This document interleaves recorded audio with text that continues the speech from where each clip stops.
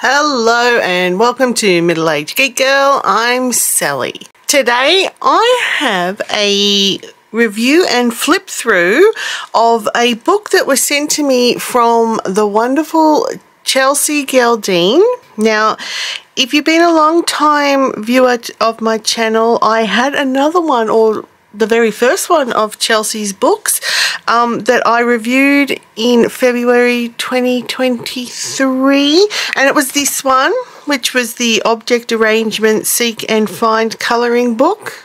So the full review is in my adult colouring flip throughs playlist and it's dating back to February 2023 if you want to see that one but Chelsea has released a new book and she um, reached out to me and asked if I would like a copy and of course I said yes please and she sent it through so I do appreciate that Chelsea because I understand um, you're in the States and I'm in Australia so I know it is a bit expensive and a bit of um, an awkward task sometimes to send things through. So I really do appreciate that you did send this through to me. And Chelsea's new book is Alphabet Adventure Seek and Find Colouring Book. So just looking at the back, here are the details. Um, it's Colour your way through the amazing world of Chelsea's Alphabet Adventure Seek and Find colouring book. A brand new adventure awaits you with the turn of each page. There are 15 objects listed below each picture. It is your quest to find every one of these objects and colour them in. Go ahead and grab your colouring utensils and do not forget to have fun. Very important message because, yeah, or should always have fun. Oh, I just realised you live in Florida. So, uh, Chelsea, I hope you are safe um, with all of the weather being thrown at you guys at the moment. So, yeah, my thoughts there for you in Florida. And, yep, I don't know where Fort Myers is in relation to the uh, hurricane. Either way, if you are anywhere near the hurricanes, I hope you're safe. So what this book does have, it's got 26 intricate illustrations, obviously if it's the alphabet, 26 letters, includes over 400 objects to find plus bonus items, gives the reader the option to colour in the entire page, is anxiety reducing and relaxing, boosts creativity, increases hand-eye coordination, is suitable for both adults and children, and educates young people about new words. So love it. Now, as per the last book, I do believe, yeah, the last couple of pages are the answers. So that's all you'll see of that. so we'll move to here. Up, oh, there's bonus items. I guess that's not giving it away if I show that right now. And then you've got your images. So that's the one for Z or Z, however you like to say it. And they are really cute images and really detailed quite nicely.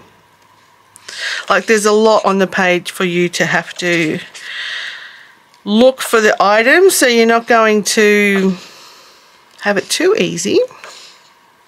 But also I don't think it's going to be like frustratingly hard, um, which I like. It's sort of that nice balance. And um, once I have done the flip through here, I will do one on camera with you. And I think I'll choose the letter S because that's what my name stands starts with. Stands for, no, starts with.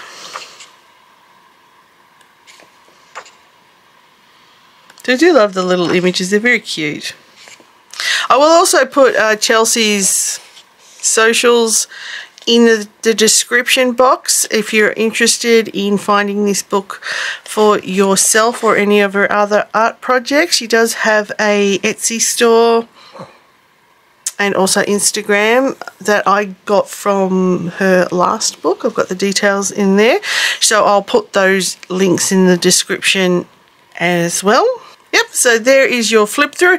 Um, it's single-sided, got a I always appreciate that so it won't matter if you use an alcohol marker or something to bleed through. As long as you put your back page on it it'll all be good. Let's go to the letter S. There we go. And let's do the letter S together. I bought over my Artline Stix colouring or brush markers. Um, I'm going to use, I'll just use the one colour and we'll go with purple being that it is my favourite colour. This one is probably more purple than that one. That one's a nice colour too. Might use both of them. Let's use both of them. And I will put just a piece of paper on the back just in case because although they're water-based markers they, I, I, guess they can still leak through. So yeah let's have some fun and do this one together. If I need to I will make this into like a time lapse um, if I find that I am taking too long or not talking enough we can always you know speed it up a bit. Here is the skull. And also my coloring is going to be very bad because as you can tell I've still got my thumb brace on but the good news on that is I have got a referral to get an injection that will hopefully fix it all up. Maybe that purple's a bit too dark, but we'll see. So that was skull done. Yay! Oh, and this scarf right here. So really you can use anything, I guess, to colour in your images. You can have a different colour for every piece if you want. Wonder if, yeah, spatulas there. So if you got two pieces that are close together like that, which I do, I might move the other colour purple. And yeah, as I said, very wonky. Very wonky colouring. so what can I do? But then again, also, if you, once you've done and found all your bits, you can colour in the rest of the page uh, if you want to, as it says so. So what I like about these books is they're like a puzzle as well as colouring. So yeah, you can just colour it in as you want to, use it as you're supposed to, in like terms of use it as your seek and find. Multiple things you can do. For me, I've been just using it as the seek and find because I, I like the puzzle aspect of it. So that's what I'll do with this one as well. Shovel. Now see it's steak, that is the meat steak, not the steak that you put through a vampire's heart. Just so you know. I might actually get a third colour and use them. What colour? Let's go bright pink. So when I find those ones, I'll put them in the bright pink colour. So soy milk. So soy milk goes in this colour. See, so you can do things like this. As I said, different colour for each object or different colour for each line of objects. It really doesn't matter. It's up to you. And as I mentioned earlier, it's sort of a nice balance. Like it's not too hard that you'll get annoyed and not want to do it. Um, but it's also not too easy that you're instantly just spotting things because I've had to look. I've had to use my eyeballs. This would be also good to do if you want to just chill out whilst listening to podcast or watching some YouTube videos. Dare I say watching my YouTube videos. and you can do this whilst you watch that. I want to find this steak so that I can put this purple away. There's the sink. What colour is the sink? The sink has to be this colour. Bet you because I want to find the steak, it'll be the last thing I find. Always works like that. And then again, you guys watching at home might have spotted it already and are yelling frantically at the television or the computer monitor or wherever you're watching this video. I know one of my uh, viewers and patrons, Queen E Designs, was yelling very loudly at her television when I did my puzzle video uh, a couple of videos back because she worked out what I hadn't worked out about the top layer of the puzzle. So yeah, she was um, screaming at the television. But isn't that always the way? You watch something on a YouTube video and you can spot something before the person in the video spots it because obviously it's pre-filmed so you can't do anything. Unless it's a live stream then you can yell out. But I, I you know I found it in the end so you know I'm not completely hopeless. Just out of curiosity how is it going? So it isn't it's showing on the back as you can see um, but it's not leaking onto this paper and that's with the water-based markers.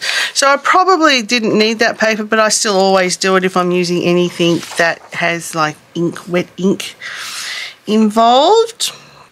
Also I think this is printed in uh, the US I wonder if it says I'm just oh no this was actually printed by Amazon Australia in New South Wales and I've only can go by what people I've watched on other videos have said. I think the Australian paper is a little bit better than the American paper, what they print colouring books on in America. Only because of, what, like I said, what I've hear, heard other people say about the quality of papers with things they've got from Amazon. So maybe ours is slightly thicker. I, I don't know.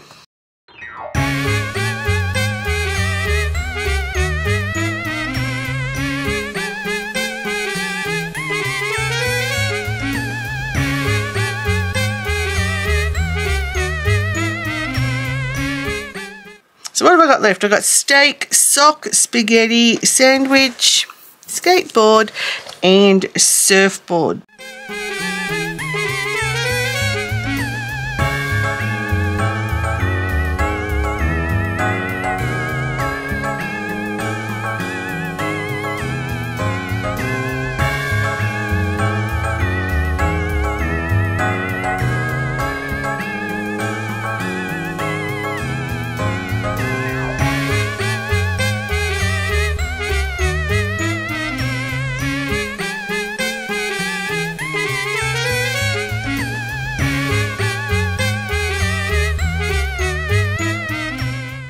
Done. Page is done. And as it says on the book on the book itself or if you want to you can color in the rest of the page if you wanted to do each item. But that's where I'll leave it because I like to do it as the puzzle book. So there you have it. There is Chelsea's latest book Alphabet Adventure Seek and Find Colouring Book by Chelsea Geldean. Thank you once again, Chelsea, for sending this through. I love these type of books. It, it's different than just standard colouring. It gives you something else to do in a puzzle form. So I'm always happy to, for that because it makes your brain think a little bit more as well. Good for your neuroplasticity. So, I We'll leave links to everything in my description. Check it out if you're interested in getting this book for yourself. Once again, thanks, Chelsea. I do appreciate you reaching out to me, especially given that I'm in Australia and I know that it can be a bit different or a bit awkward, I should say, um, in logistics, but I do appreciate it. But that's it from me for this video. So all the usuals. Please like, subscribe, leave a comment if you're interested in supporting my channel further, I do have a Ko-fi and a Patreon account set up and the details are up here on screen. But until next time, everybody, please stay safe, stay weird, and I'll catch you in the next one. Bye.